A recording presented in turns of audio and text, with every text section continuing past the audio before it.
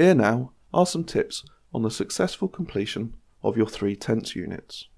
First, when identifying a sentence's tense, focus on the structure of the sentence rather than its usage. The structure is what dictates the tense used. For example, if a sentence lacks the auxiliary verb to have, it cannot be a perfect tense sentence. Similarly, if a sentence lacks the present participle used as the main verb in the sentence, it cannot be a continuous tense sentence. This can also be helpful for creating sentences. Once you've created a sentence you feel is appropriate, have another look and analyse that sentence's form before looking at its usage. When asked for reasons why you've identified a specific tense, be sure to list a usage.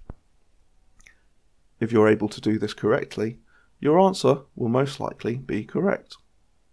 When asked to explain something to a low-level student, be sure to word your answer as if you're really explaining it to the low-level student, rather than your tutor. Be sure to use basic language and be as clear as possible.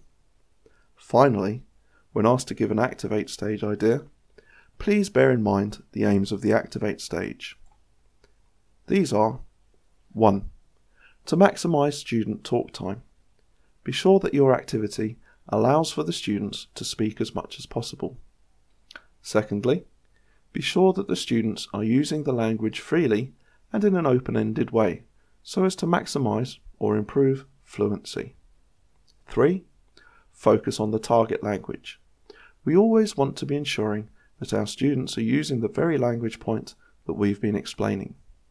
Finally, keep in mind that these shouldn't be worksheet based activities, where the worksheets are more useful for the study stage rather than the activate stage.